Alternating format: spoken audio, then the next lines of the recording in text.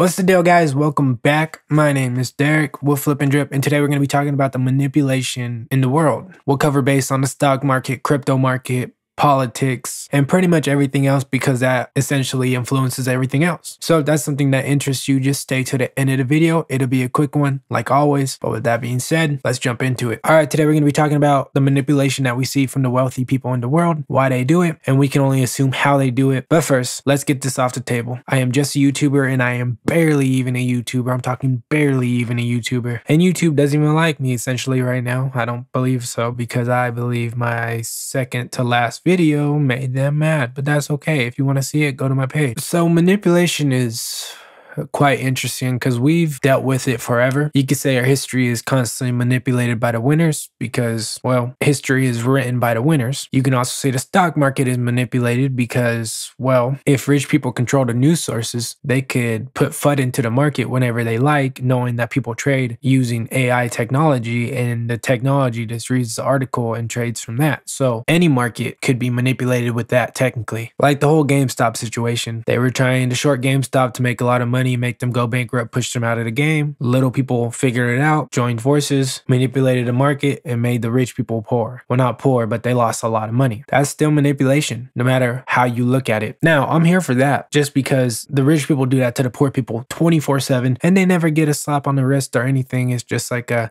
you know, this is part of the game. For example, Look at JP Morgan. They are constantly sued for manipulating the price of gold and silver and whatnot.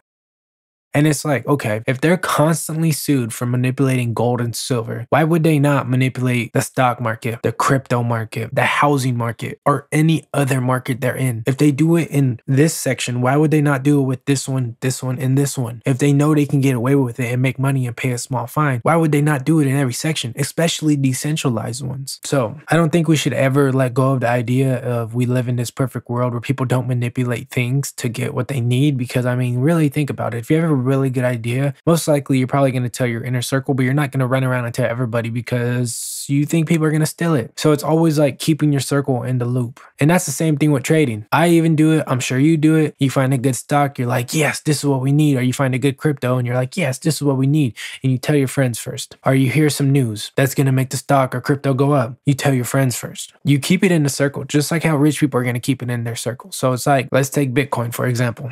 If one rich person got into Bitcoin and they knew regulations were coming and they were going to be friendly and Bitcoin was going to be worked into our system, they would tell the other rich friend because rich friends get rich together. Now, here's where manipulation comes in. Say the one person bought it at 4,000, 10,000, 20,000, and the other guy's trying to buy it now and he's all, hmm, I need the price to go down. Well, that's okay because you could pay people to make negative articles, which your AI trading bot is going to pick up and start selling and liquidating, and blah, blah, blah. And then you get these little dips that you could buy in. And you know, people actually buy over the counter, which doesn't touch the exchange. And we hear like MicroStrategy buying like 10,000 Bitcoin. And you're just like, how does that not affect the price? Where they're buying over the counter kind of manipulation as well. It's not a fair market. I know I'm jumping all over the place, but even in 2008, when the housing market fell apart and all that stuff, that is when I believe capitalism died because uh, too big to fail. They didn't let companies fail. And you know, capitalism is privately owned right to fail. They didn't let the big companies fail because they're in bed with the government. Maybe that's manipulation, maybe it's not. And you could carry the same thing on the NFTs and paintings and all that stuff. There's manipulation everywhere we look in America. And it's not just America, it's all over the world, but I'm just saying America because that hits home. And this is why I always go back into just believe in what you invest in and keep investing and, you know, let it do what it naturally does because you're not big enough to compete with the whales. You're a fish, most likely, or a shark, maybe, maybe a shark, but you are not a whale. I guarantee it. A whale would not be sitting on YouTube watching this channel. Well, at least, yeah. But besides the point, manipulation breathes in this system.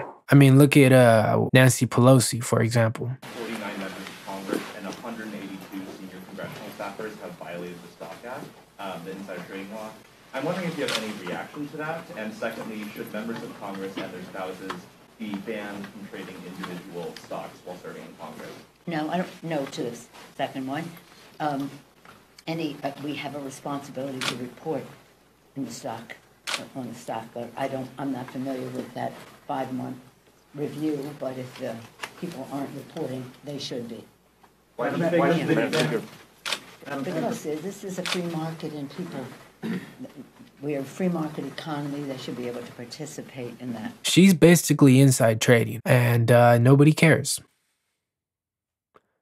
because it's the open market. And that's a prime example of what they're probably all doing behind closed doors because the president makes like 400,000, right? And you can only imagine they don't make the same, but how come they're worth like hundreds of millions of dollars and how do they have 10 million dollar houses and how do they have all this stuff? Well, it's probably because of lobbying one and investing in stuff that you know that's going to go up. And lobbying is manipulation because deep down inside you know tobacco's not healthy and these pharmaceutical industries aren't healing anybody, but you do what you have to do and pass those laws to make a paycheck for you and what's beneficial for your circle. It's a very selfish game. That's why I think lobbying should be illegal. But again, manipulation breeds everywhere in the system. So my best advice is just to learn to live with it, invest accordingly, trust what you invest in, and just let time tell all, you know. But with that being said, guys, I hope you enjoyed this type of content. If you did, I would appreciate if you dropped a like, comment, subscribe, do whatever you gotta do to stay in the loop. I drop a video about every other day, helping you mentally, physically, financially, spiritually, and emotionally, all for free. No joke. And my name is Derek with Flip and Drip, and I'll see you in the next one. Peace.